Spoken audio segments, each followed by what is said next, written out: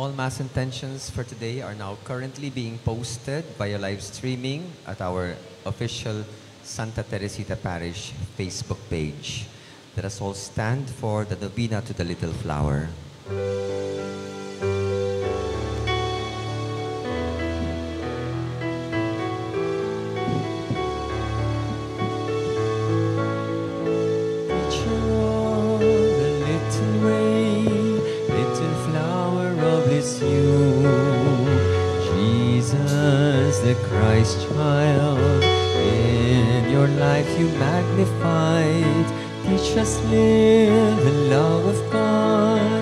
As we journey in this vale of tears till we reach the kingdom. And with you behold the Savior God's holy face. Teresa, little flower, teacher of the little way. Teresa, oh Teresa, teach us live the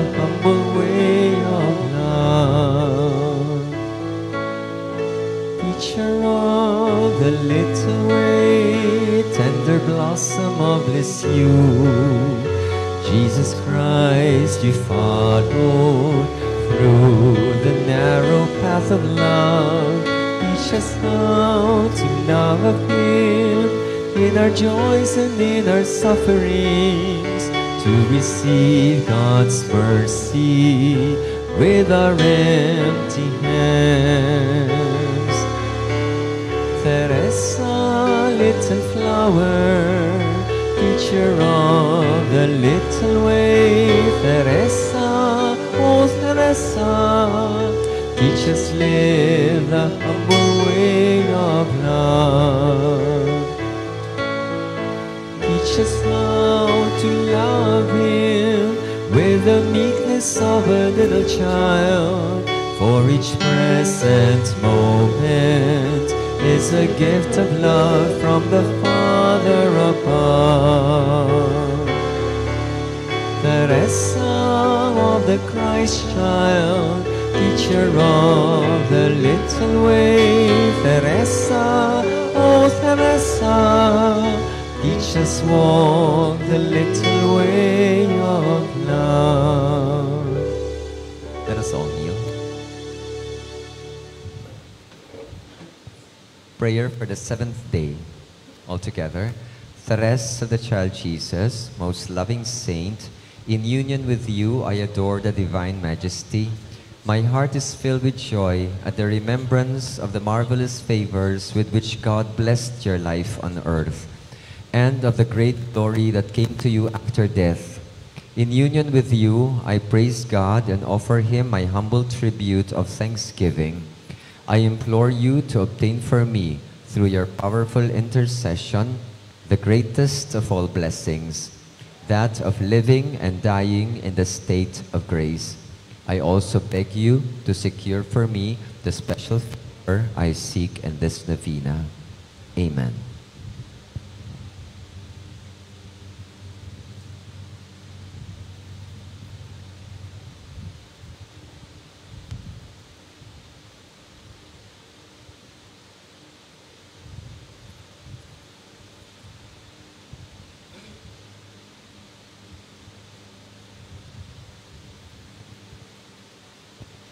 Novena Prayer.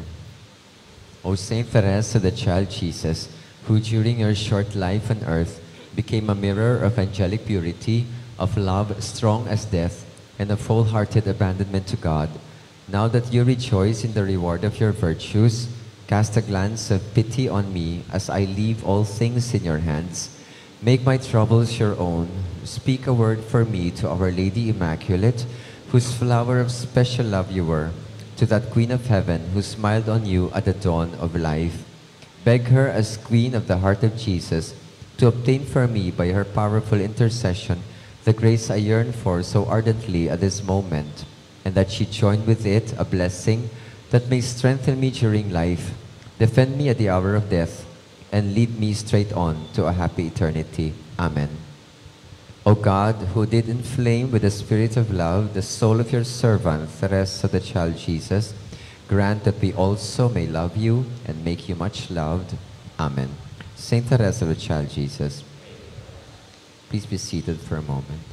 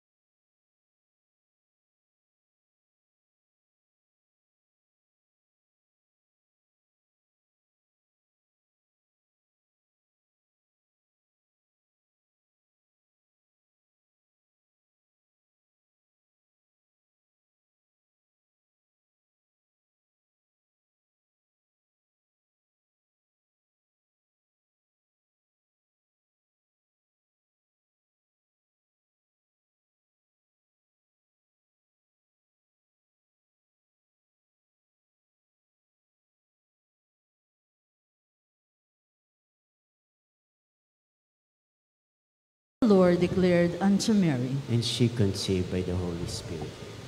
Hail Mary, full of grace, the Lord is with you. Blessed are you among women, and blessed is the fruit of your womb, Jesus. Holy Mary, Mother of God, pray for us sinners now and at the hour of our death. Amen. Behold the handmaid of the Lord. Be done to me according to your word. Hail Mary, full of grace, the Lord is with you. Blessed are you among women, and blessed is the fruit of your womb, Jesus. Holy Mary, Mother of God, pray for us sinners now and at the hour of our death. Amen. And the Word was made flesh. And dwelt among us. Hail Mary, full of grace, the Lord is with you. Blessed are you among women, and blessed is the fruit of your womb, Jesus. Holy Mary, Mother of God, pray for us sinners now and at the hour of our death. Amen. Pray for us, O Holy Mary, Mother of God. That we may be made worthy of the promises of Christ. Let us pray. Pour forth, we beseech you, O Lord, your grace into our hearts, that we to whom the incarnation of Christ, your Son, was made known by the message of an angel, may by his passion and cross be brought to the glory of his resurrection. Through the same Christ our Lord. Amen. Glory to the Father, and to the Son, to the Holy Spirit. As it was in the beginning, is now, and will be forever. Amen. Glory to the Father, and to the Son, to the Holy Spirit. As it was in the beginning, is now, and will be forever. Amen. Glory to the Father, and to the Son, to the Holy Spirit. As it was in the beginning, is now, and will be forever. Amen. In the name of the Father, and of the Son, and of the Holy Spirit. Amen. Please be seated for a moment. Good evening. Peace and all good, dear brothers and sisters in Christ. We are now on the seventh day novena, Mass in honor of Saint Teresa of the Child Jesus, and today we celebrate the memorial of Saint Lorenzo Ruiz, the first Filipino saint and his companions. Our Mass presider in this Eucharistic celebration is Reverend Father Ronald Allen Sampson, OFM Capuchin. Let us all stand, please.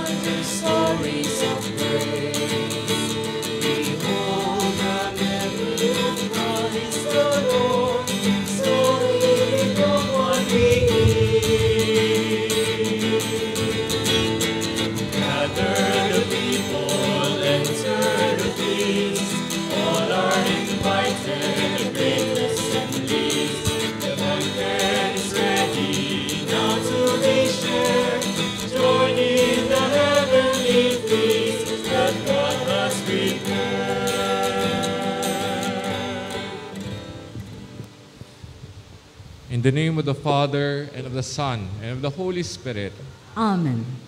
the grace of our Lord Jesus Christ, and the love of God, and the fellowship of the Holy Spirit be with you all. And with your spirit. Brothers and sisters, a blessed evening to, to each one of us. Today we Evening, celebrate Father. the memorial of Saint Lorenzo Ruiz, the first Filipino saint to be canonized, a martyr, and a model to each one of us in responding to God's will in our lives. Brothers and sisters, let us acknowledge our sins and so prepare ourselves to celebrate the sacred mysteries. I confess to Almighty God and to you, my brothers and sisters, that I have greatly sinned in my thoughts and in my words, in what I have done and in what I have failed to do. Through my fault, through my fault, through my most grievous fault. Therefore I ask the Blessed Mary, ever Virgin, all the angels and saints, and you, my brothers and sisters, to pray for me to the Lord our God. May Almighty God have mercy on us, forgive us our sins, and bring us to everlasting life. Amen. Lord, have mercy. Lord, have mercy. Christ, have mercy. Christ, have mercy. Lord, have mercy. Lord, have mercy. Let us pray. Grant us, we pray, Lord God, the same perseverance shown by your martyrs, Saint Lawrence Ruiz and his companions, in serving you and their neighbor, since those persecuted for the sake of righteousness are blessed in your kingdom. Through our Lord Jesus Christ, your Son, who lives and reigns with you in the unity of the Holy Spirit, God forever and ever. Amen.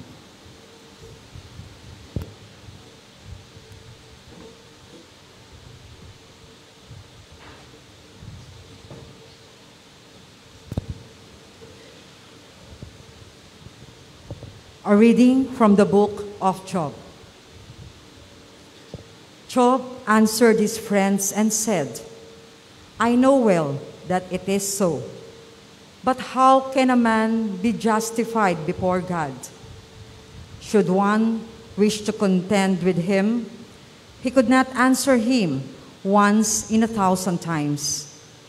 God is wise in heart and mighty in strength who has withstood him and remained unscathed. He removes the mountains before they know it. He overturns them in his anger. He shakes the earth out of its place, and the pillars beneath it tremble.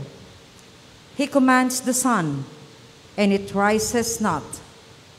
He seals up the stars. He alone stretches out the heavens and treads upon the crest of the sea. He made the bear and Orion, the Pleiades and the constellation of the south. He does great things past finding out, marvelous things beyond reckoning. Should he come near me, I see him not. Should he pass by, I am not aware of him. Should he seize me forcibly, who can say him nay? Who can say to him, What are you doing? How much less shall I give him any answer or choose out arguments against him? Even though I were right, I could not answer him, but should rather beg for what was due me. If I appealed to him and he answered my call, I could not believe that he would hearken to my words. The word of the Lord. Thanks be to God.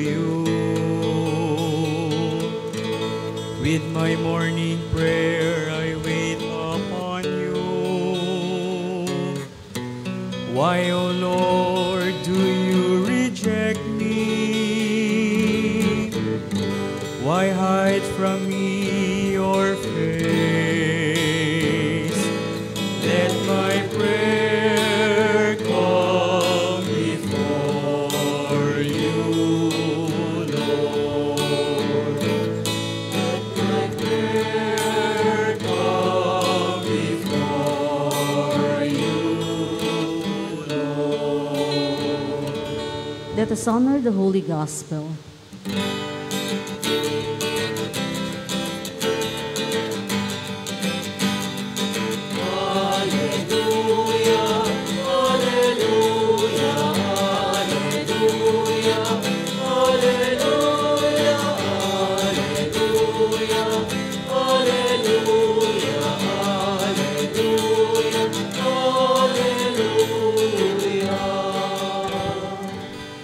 Consider all things so much rubbish that I may gain Christ and be found in him.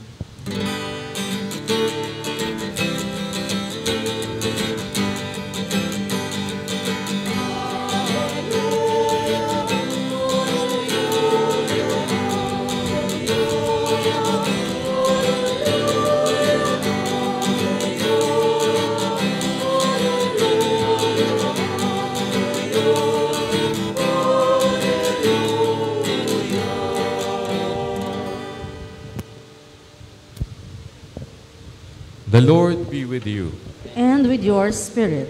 A proclamation from the Holy Gospel according to Saint Luke. Glory to you, O Lord. As Jesus and his disciples were proceeding on their journey, someone said to him, I will follow you wherever you go. Jesus answered him, Foxes have dens, and birds of the sky have nests, but the Son of Man has nowhere to rest his head. And to another he said, Follow me. But he replied, Lord, let me go first and bury my father. But he answered him, Let the dead bury their dead.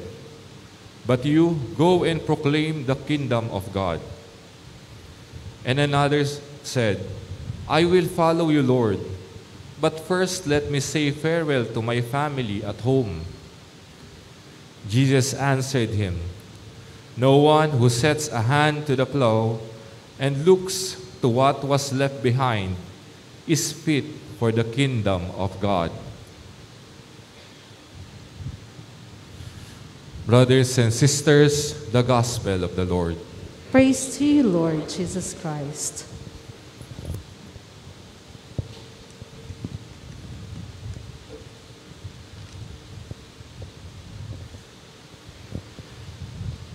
Kapayapaan at lahat ng kabutihan, mga kapatid. Kapayapaan din po at lahat Isa ng pong- kabutihan, Father. Salamat po. Isang mapagpalang gabi po sa ating lahat. At ah, nagpapasalamat po ako na ako'y naimbitahan ninyo sa inyong pagnonobena para sa paghahanda ng dakilang kapistahan ng inyong patron na si Santa Resita del Niño Jesus. So nagpapasalamat ako sa ating kura paroko, kay Father Ron Ojeda, na aking formator, no? postulant director, novice master, all around. Gayon din kay Brother Mario at sa community ng mga kapitid nating Cappuccino uh, dito sa Santa Teresita del Niño Jesus. Nung tinignan ko po yung yung tema ano nung para sa ikapitong gabi natin ng nobenaryo, ang nakalagay po dito, Santa Teresita del Niño Jesus, inspirasyon ng kristyanong pamilya sa misyon ng sinodal na simbahan. Sabi ko, parang thesis defense, parang uh, napakalalim ano, kung titignan natin, lalong-lalo na sa buhay ng ating patron at pintakasi na si Santa Teresita del Niño Jesus.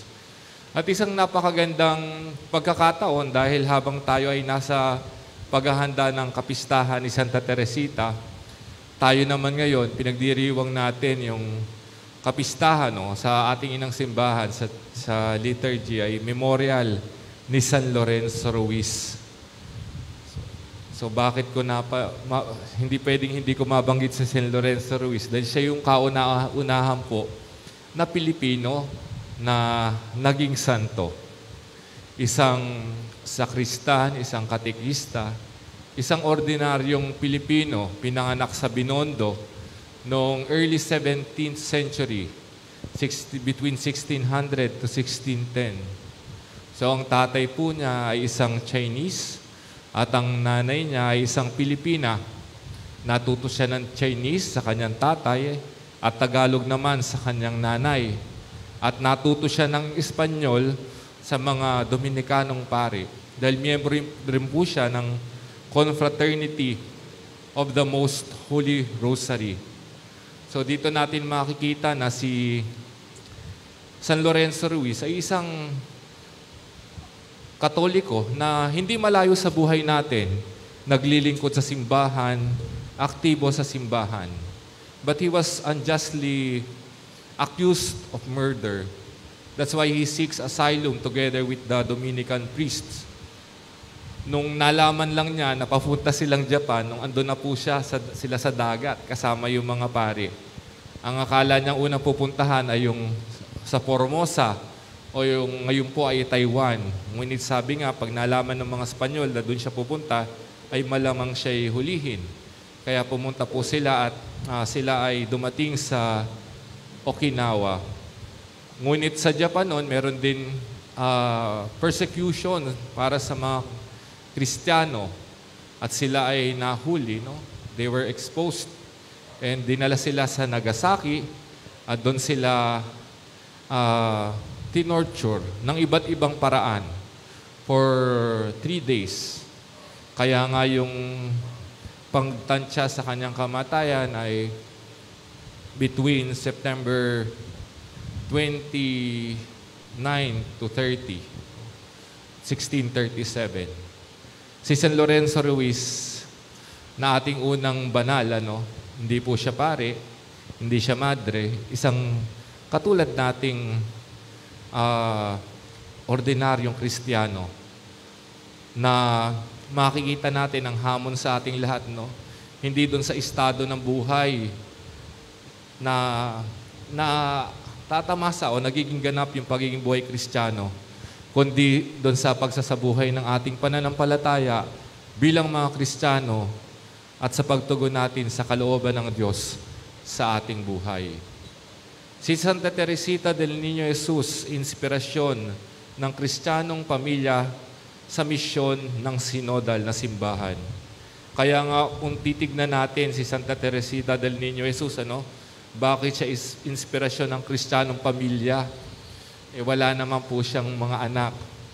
Pero kung titignan natin, siya ay ating inspirasyon sa pamamagitan mismo ng kaniyang naging pamilya sa pamilya na binuo ng mga banal na sila Saints Louis and Sally Martin na ang kaniyang mga magulang.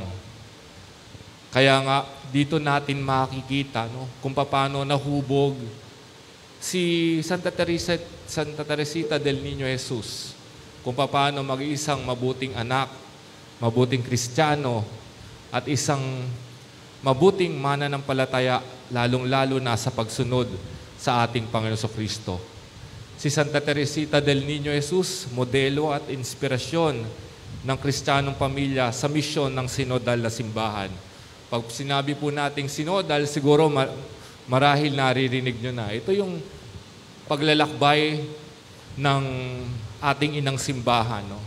Bilang isang pilgrim church na naglalakbay sa isang daan patungo sa isang direksyon. No? Yung kagapanapan ng buhay at kabanalan sa pabamagitan ng daan, ang ating Panginoong Heso Kristo. Kaya pinakita at makikita natin ito lalong-lalo na sa buhay ni Santa Teresita del Niño Jesus.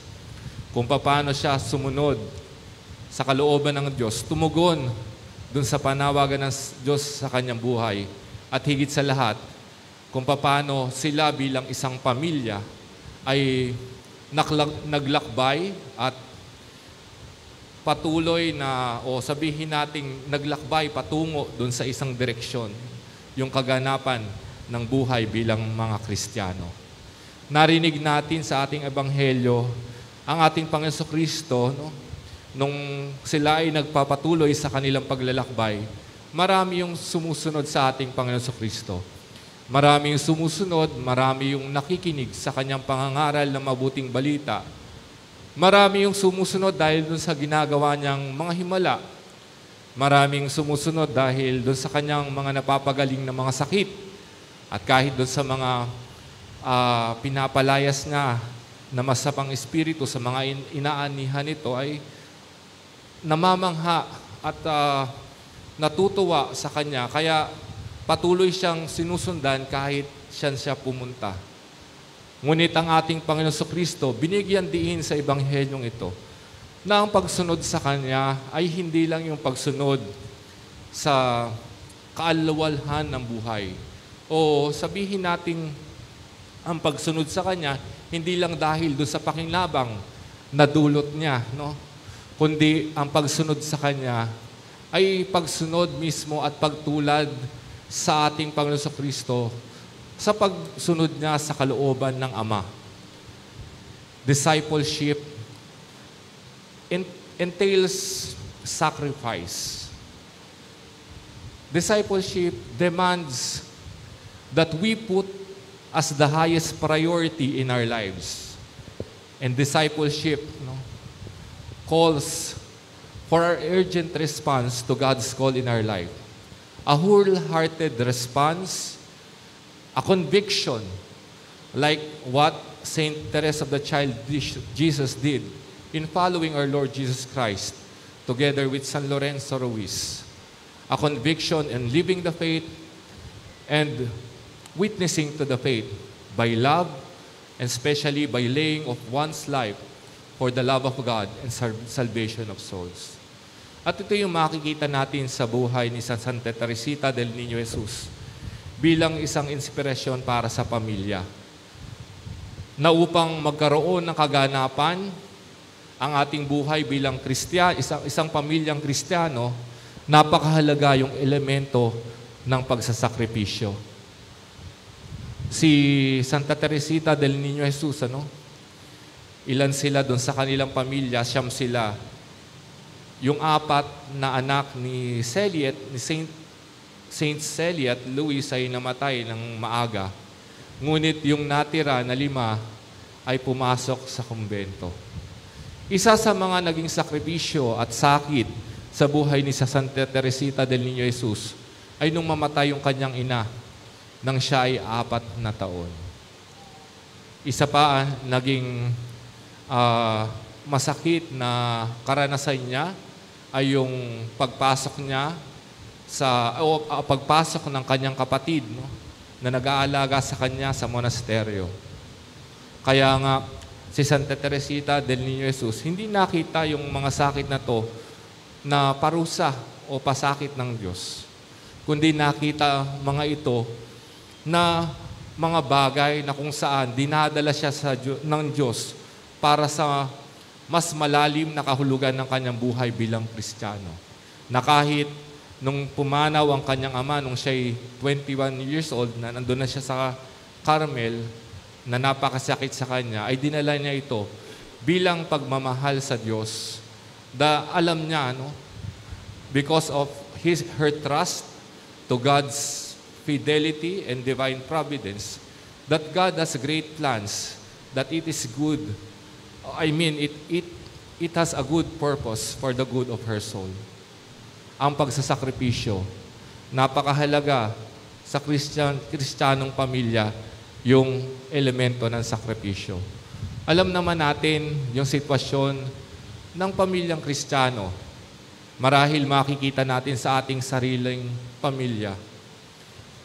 Sabi ko nga, yung sinodalidad, isang paglalakbay patungo sa isang daan at isang direksyon. At itong direksyon na to, minsan, o at ang paglalakbay na to ay hindi natutupad at hindi nagiging ganap sa ating pamilya. Dahil minsan nagsisimba, nanay lang, hindi kasabay, hindi kasabay ang mga anak o naiiwan ng ama o minsan mas gustong sumama ng mga bata sa mga kaibigan sa pagsimba kesa sa kanilang mga magulang. But the inspiration of Saint Teresa of the Child Jesus to our Christian family calls to each one of us to look into our families. No? Na unti-unti nating anyayahan, unti-unting maging buo at maging isa ang pamilya sa paglalakbay patungo sa kabanalan at kaganapan ng buhay bilang kristyanong pamilya. Sa pagsisimba sa araw ng linggo, sa pagsasakripisyo, no? Dahil kasi kailangan mo magsakripisyo na tatanggalin mo yung iyong sariling kagustuhan upang maging ganap yung hamon para maging buo yung pamilyang Kristiyano. Na hindi mo sasabihin, mas gusto kong kasama yung mga kaibigan ko o yung mga kasama ko sa ibang organisasyon sa simbahan. No? Like Saint Teresa of the Child Jesus, he, she showed her sacrifice by breaking her will for the love of God and for la- the love of his brothers and especially sisters in the community. Kaya nga, sa halimbawa ng kristyanong pamilya, tinatawag tayo na tayo rin ay may bahagi doon sa pagsasakripisyong ito. May kailangan tayong bitawan upang tayo ay makinig, makaniig, at lumago, lalong-lalo na doon sa relasy- relasyon sa bawat miyembro ng pamilya upang maging ganap yung kristyanong pamilya sa pakikisa sa misyon ni Kristo, lalo na sa paglalakbay patungo dito sa iisang direksyon ng kaganapan ng buhay. Pangalawa ay yung inspirasyon ni Santa Teresita del Niño Jesus sa kristyanong pamilya, yung patuloy na pagtugon sa kalooban ng Diyos. An urgent and a committed response. A wholehearted response na kung gusto nating lumago dun sa tunay na pagpapanibago ng pamilya, kailangan nating merong i-give up at doon sa kailangan merong i-give up at isakripisyo, kailangan nating tumugon sa Diyos na i-give up yung ating will upang makatugon sa kanyang kalooban. Yung pag-give up natin, pagbitiw doon sa sarili nating kalooban, ay hindi sapilitan, kundi buong puso na tumutugon tayo bilang tanda ng ating pagmamahal sa Diyos at pagmamahal sa ating kapwa-tao, lalo na sa bawat miyembro ng pamilya. Yung maglaan tayo ng oras para sa panalangin sa pamilya. Maglaan para makapiling ang bawat miyembro ng pamilya, lalong-lalo na yung makinig sa anak, magmahal at mag-alaga sa mga magulang, at magpatawad lalo na kung may kailangang patawarin o humingi ng tawad kung may nagawang pagkakamali sa bawat miyembro ng pamilya. Yung pamilya ni Saint Teresa of the Child Jesus, hindi naging perpekto, kundi dahil doon sa pagsasakripisyo at pagtugon sa kalooban ng Diyos. At ito yung binibigyang na halimbawa sa atin ng buhay ni Santa Teresita del Niño Jesus at ng kanyang pamilya.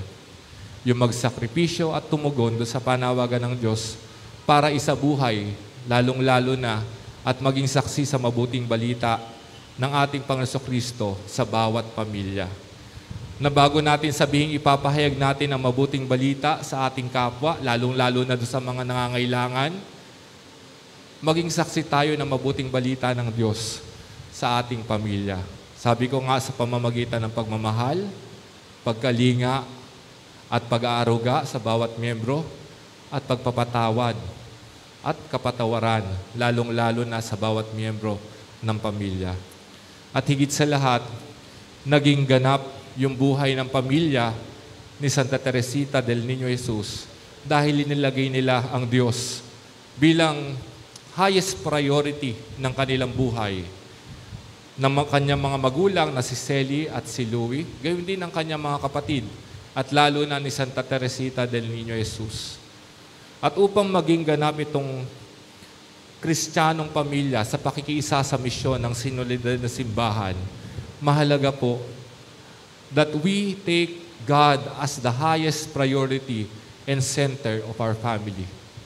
For us, in order to journey that one path and one direction towards the fullness of our Christian life and holiness of life at ang naging daan ng pamilya at ni Santa Teresita dito para maging ganap ang kanyang buhay at ang kanyang pamilya ay ang pagmamahal, lalong-lalo niya sa banal na Eucharistia. Nawa ang ating pagtanggap sa banal na Eucharistia, ang pagmamahal natin sa ating Panginoon sa Kristo sa banal na Eucharistia, ito lalo yung humubog sa ating pamilya para magkaroon ng patuloy na pagpapanibago, pagbabalik loob sa bawat miyembro ng pamilya at mahubog tayo ng Diyos na maging katulad natin at lalo pa nating hangarin, tularan at isabuhay ang turo, ang halimbawa at buhay ng ating Panginoon Kristo. The Eucharist has transforming power. And as we love Jesus in the Eucharist, may we be transformed on His life-giving bread and wine. That we too, in order for our family to have, to attain its fullness of Christian life, we may be able to give our lives to each and every member of our family. Katulad ni si Santa Teresita del Niño Jesus, na yun yung kanyang pakikiisa sa sakripisyo at pagpapakasakit ng ating Panginoon Kristo ay yung binigay niya yung kanyang buhay dahil sa kanyang pagmamahal sa Diyos at pagmamahal sa kanyang kapwa-tao, na ito yung nagdala para sa kaligtasan ng mga kaluluwa.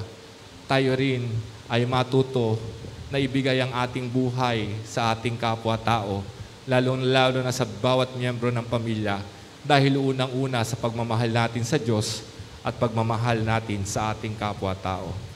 Nawa ang maging daan natin para sa kaganapan ng buhay ang banal na Eucharistia Nawa ang banal na Eucharistia ang maging tunay na tanda ng ating Panginoong Kristo para maging ganap yung ating pamilyang Kristiyano.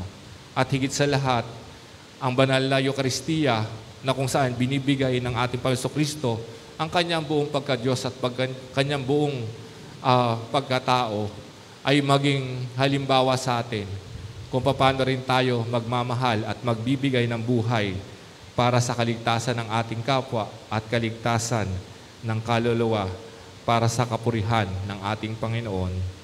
Amen.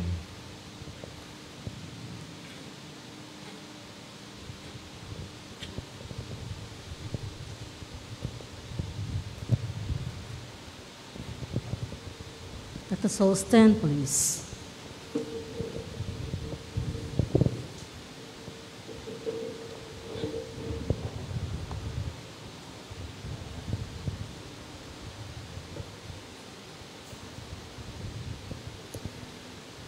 We present our needs before God our Father, whose Son Jesus Christ has called us to follow Him. With confidence, we pray for the grace to accept the calling. Father, perfect us in Christ. Father,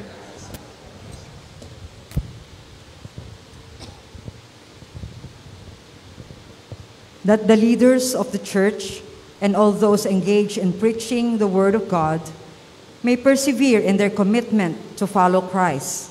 Let us pray to the Lord Father, perfect Father, us perfect in us Christ. that our community may be renewed from day to day through faith in the word of God, calling us to a better life. Let us pray to the Lord.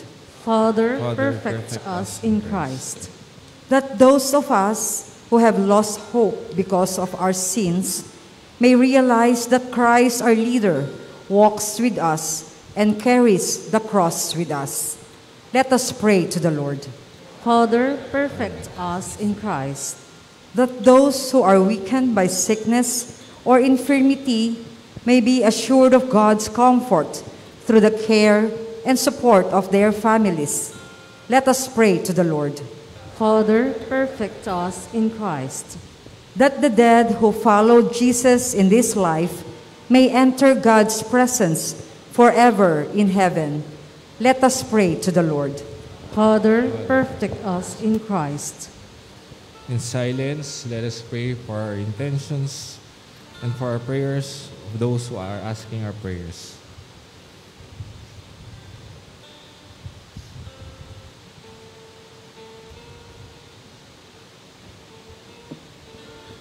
Let us pray to the Lord. Father, perfect us in Christ. Father in heaven, in our desire to follow in the footsteps of your Son, make us one in mind and heart through Christ our Lord. Amen.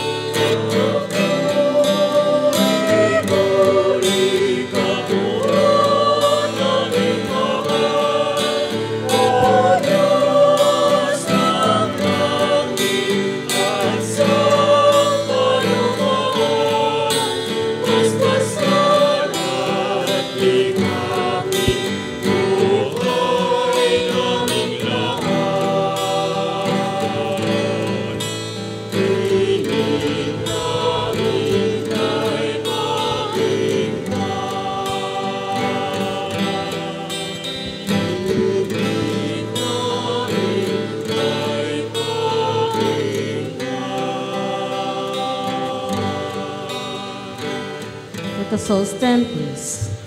Pray, brothers and sisters, that my sacrifice and yours may be acceptable to God, the Almighty Father. May the Lord accept this sacrifice at your hands for the praise and glory of his name, for our good and the good of all his holy church. Receive, Holy Father, the offerings we bring in commemoration of the holy martyrs, and grant that we, your servants, may be found steadfast in confessing your name. Through Christ our Lord. Amen. The Lord be with you.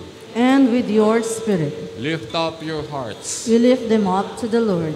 Let us give thanks to the Lord our God. It's right and just. It is truly right and just, our duty and our salvation, always and everywhere to give you thanks. Lord, Holy Father, Almighty and eternal God, for you are glorified when your saints are praised. Their very sufferings are but wonders of your might.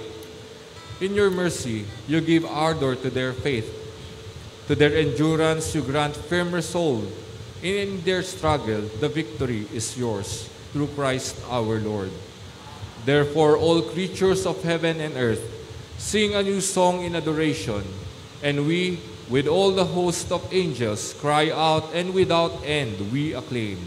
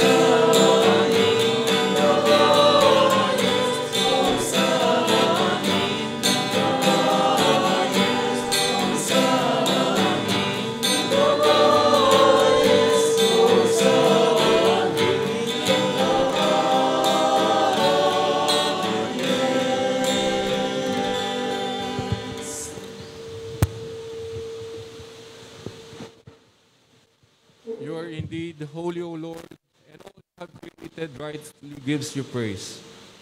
For through your Son, our Lord Jesus Christ, by the power and working of the Holy Spirit, you give life to all things and make it holy. And you never cease to gather a people to yourself, so that from the rising of the sun to its setting, a pure sacrifice may be offered to your name. Therefore, O Lord, we humbly implore you, by the same Spirit, graciously make holy these gifts we have brought to you for consecration, that they may become the body and blood of your Son, our Lord Jesus Christ, at whose command we celebrate these mysteries.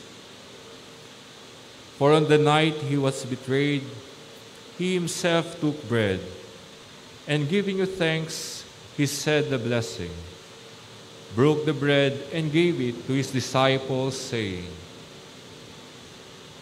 Take this, all of you, and eat of it, for this is my body, which will be given up for you.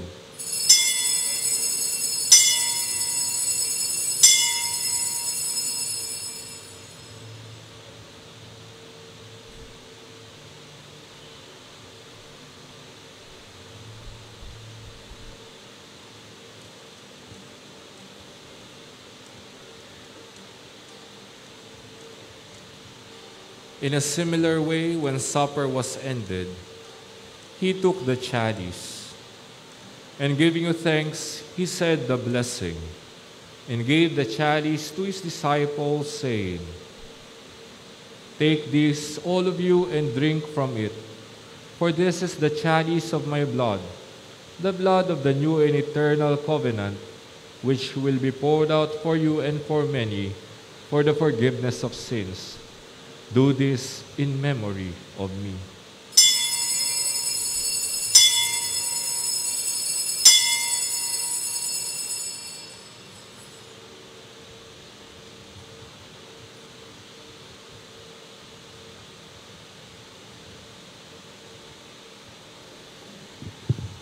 The mystery of faith.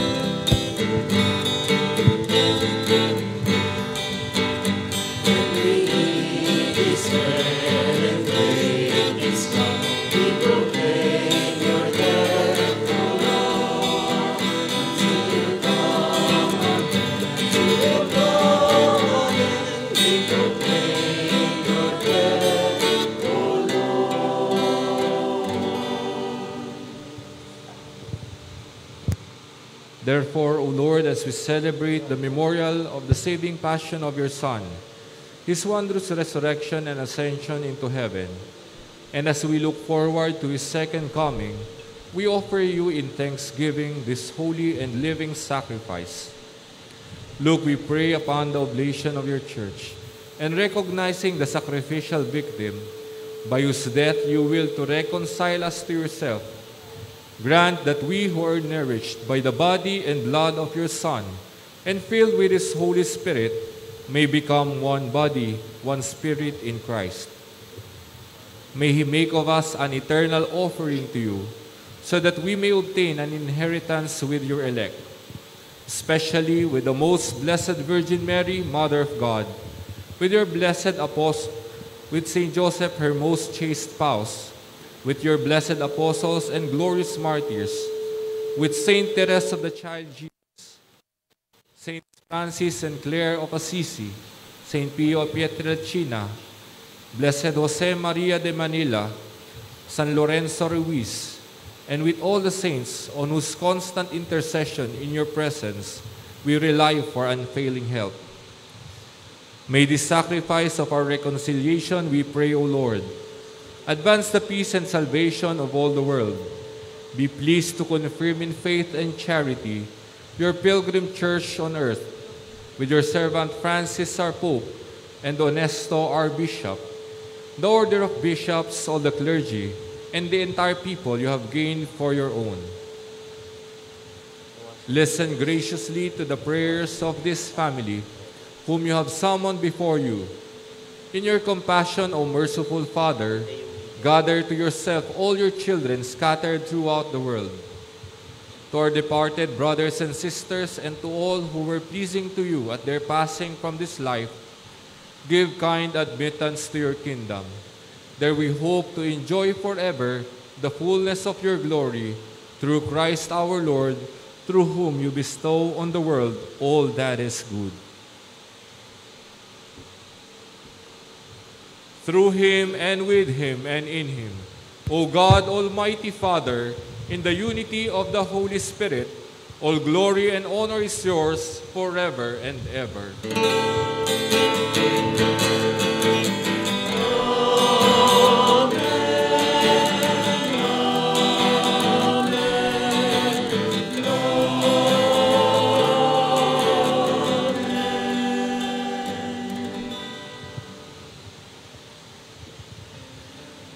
At the Savior's command, informed by divine teaching, we dare to say,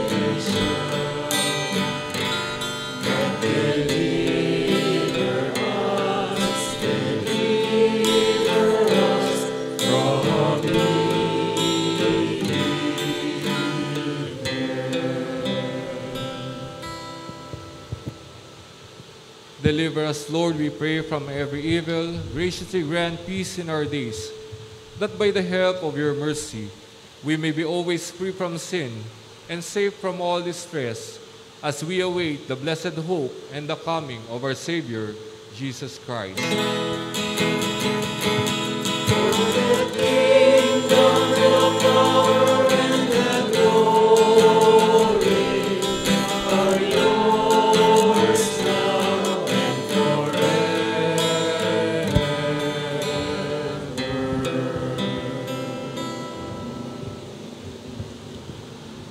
Jesus Christ, who said to your apostles, Peace I leave you, my peace I give you. Look not on our sins, but on the faith of your church, and graciously grant her peace and unity in accordance with your will, who live and reign forever and ever. Amen. The peace of the Lord be with you always. And with your spirit. Let us offer each other the sign of peace. Música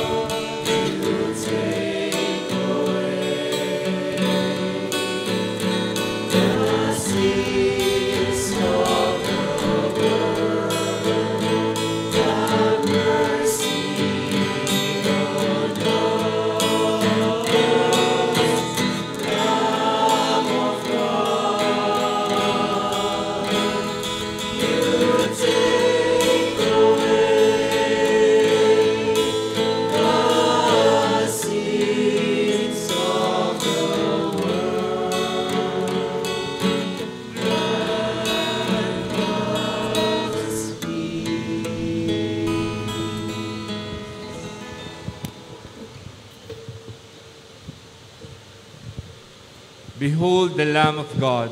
Behold him who takes away the sins of the world. Blessed are those called to the supper of the Lamb. Lord, I am not worthy that you should enter under my roof, but only say the word, and my soul shall be healed.